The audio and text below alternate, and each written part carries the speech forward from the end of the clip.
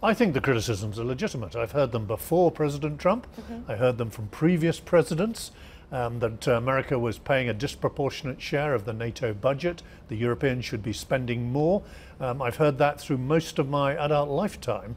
Uh, he's made very strong criticisms, and he's right. We agreed four years ago that we would all now contribute 2% of our GDP, our national wealth. We're spending 2%, but 16 of the 29 NATO members aren't even spending 1.5%. So I'm with the president on this. We've, you know, other European countries, particularly the heart of Europe, Germany, Spain, Italy, need to be spending more. Do you think it's right that he's perhaps forcing the hand by linking the uh, concept of a trade and trade discussions with NATO and NATO spending and NATO defense? Well, I, Aren't they two subjects completely separate? Well, they're not entirely separate. I think it's uh, quite legitimate for uh, the president to be asking why American taxpayers should take the pain of helping to defend uh, Europe at a time when he sees the, the trading relationships against them as well. Now, obviously, it, there's hard bargaining ahead on trade. I hope we can persuade the president that uh, the alliance is in America's interests as much as it is in Europe's interest.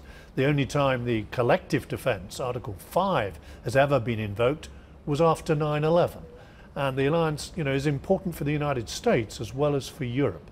But it's up to the European leaders to uh, convince the president that yes, they do have plans to slowly but steadily increase their defense spending. And it isn't just about defense spending because President Trump has said okay, clearly he wants defense spending to go up, but he also doesn't seem to believe in the merits of NATO. It's, it's almost been confined to a relic of the Cold War era.